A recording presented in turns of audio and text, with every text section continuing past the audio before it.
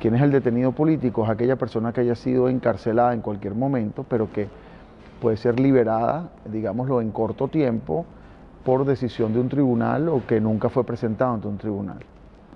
Eso es importante porque el número de personas que han sido encarceladas pasa a los 15.000 y eso es un número bien importante. O sea, hay 15.000 detenidos políticos solo desde el año 2014. Ahora, en lo que respecta al preso, es aquella persona que está formalmente presa, es decir, por una decisión de un tribunal o que pasó un tiempo, el tiempo legal, y que nunca fue eh, eh, presentado y pasa a ser de alguna forma desaparecido. Pero eh, si, si se sabe dónde está y no ha sido presentado, es un preso político también.